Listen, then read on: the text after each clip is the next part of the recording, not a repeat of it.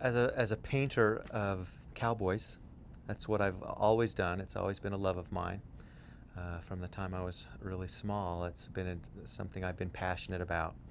And so, uh, the Cowboy Artists of America is the ultimate uh, achievement, I think, for a, a, an artist that paints that particular subject matter. So I've been following the artists in the group and following the group for many, many years.